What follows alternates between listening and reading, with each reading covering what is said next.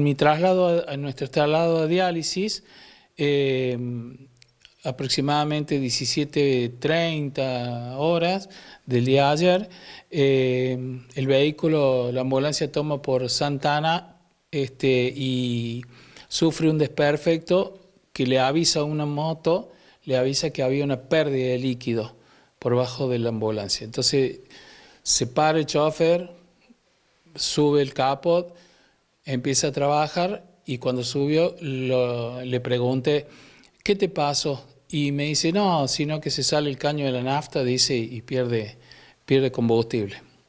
Y a la altura de 1550 vuelve a tener ese desperfecto, vuelve a bajarse el chofer y este, vuelve a trabajar ahí y cuando vuelve a sentarse para arrancar empieza a salir humo. Breves segundos, yo calculo que son 10 segundos aproximadamente, comenzó a tirar llamaradas de fuego. ¿Adentro de la ambulancia? En el, sobre el capó del lado derecho donde yo estaba.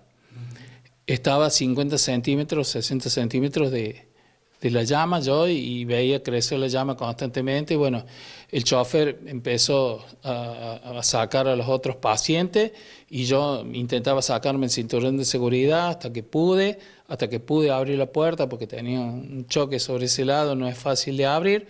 Y me tiré y pegué una rodada ahí, bueno, vino la gente, nos ayudaron y este, me sacaron, nos sacaron a unos metros.